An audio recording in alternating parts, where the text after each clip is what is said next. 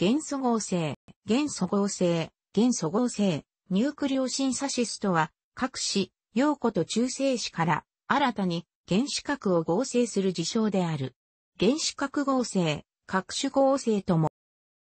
例えば、水素と重水素を非常に強い力によってぶつけると、その二つの元素が合成されてヘリウムが作られる。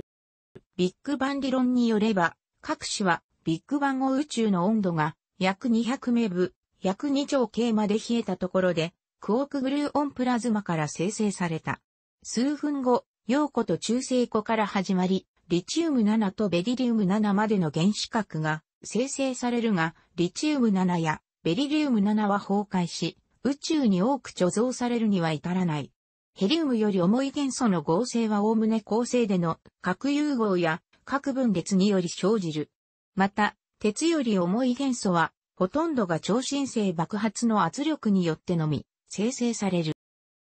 今日、地球上の自然界を構成する多くの元素はこれらの元素合成を通して作られたものである。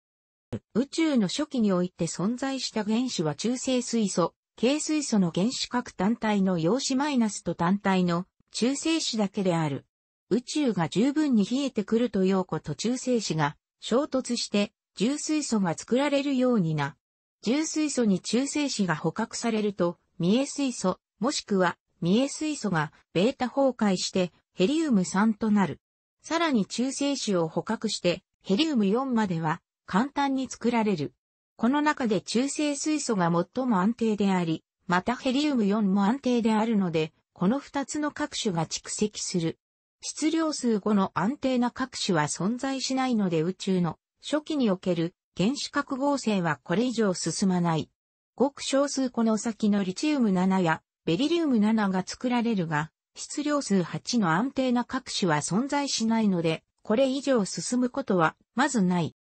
これらの原子核は、ビッグバンから約1億年後、互いの重力により解を形成し、第一世代の星を構成する原子核となる。また、中心部分で構成での原子核合成が始まると、星として輝き始める。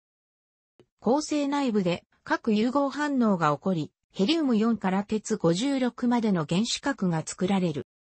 まず水素が燃焼、各融合してヘリウム4が生成されるが、これには、陽子、陽子連鎖反応特のサイクルの2通りの反応経路があり得る。前者は太陽のような質量の小さな構成や炭素などの重元素に乏しい構成で起きる。後者は炭素、窒素、酸素の原子核を触媒とする早い反応で、触媒元素の豊富にある大質量性で主に起きる。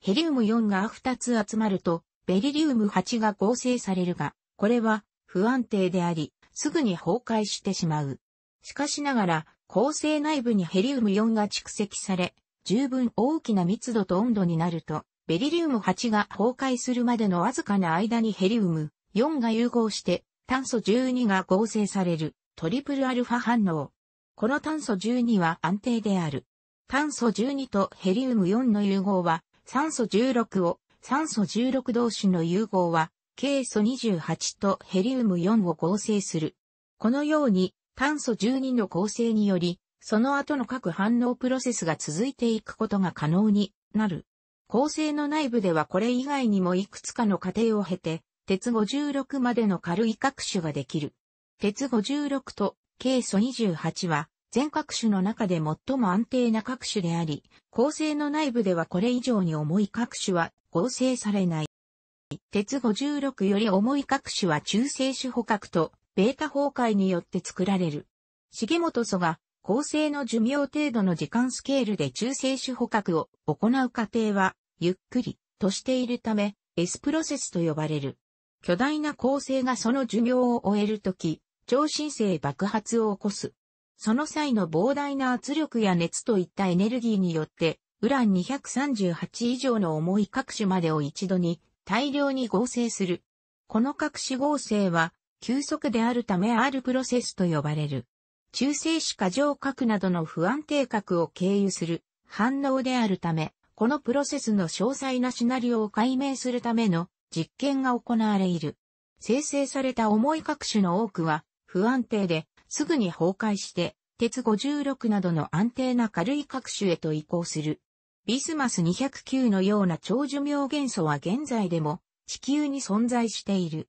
ウラン238より重い原子核の寿命は地球の年齢約46億年よりかなり短いため現在の地球には存在しない。このプロセスにより合成された原子核は第2世代の星を構成する原子核となる。宇宙船による核破砕、宇宙船による核破砕反応は最も軽い各種の一部を作る。ヘリウム酸とリチウム、ベリリウム、酵素は核破砕により生成したと考えられている。核破砕は宇宙船、多くは高速の陽子の生還物質への衝突により生じる。宇宙船の衝突により炭素、窒素、酸素は破砕される。ベリリウムとホウ素は、生還物質ではそれほど生成されない。現代では加速器や原子炉の発達によって人工的に元素合成を起こすことができるようになった。特にウランの重さを超える超ウラン元素に関しては超新星爆発などで生じる可能性もあるものの、その原子核が崩壊するまでの期間、半減期が非常に短いために自然環境下の地球では見ることができない。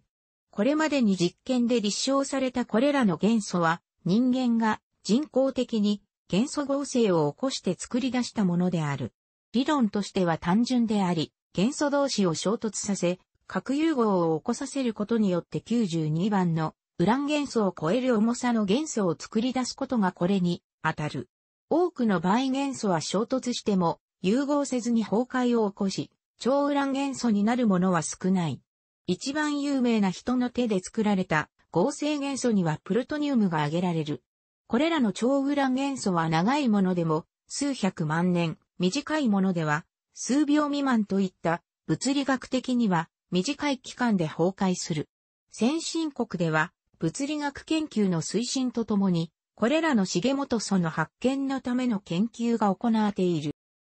一方、これに対して超高温、超高圧を生み出すことで質量の軽い水素と重水素を合成する元素合成に関しても研究が行われている。